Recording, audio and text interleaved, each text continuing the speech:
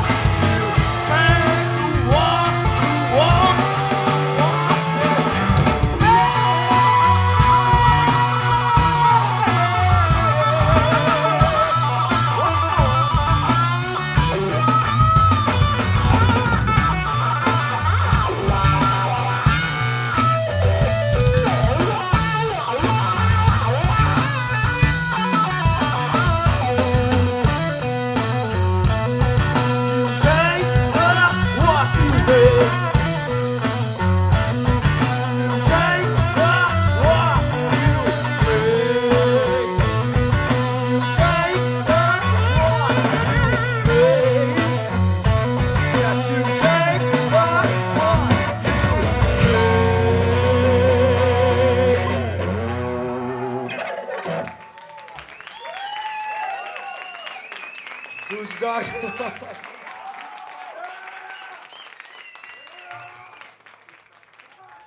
tak for i aften.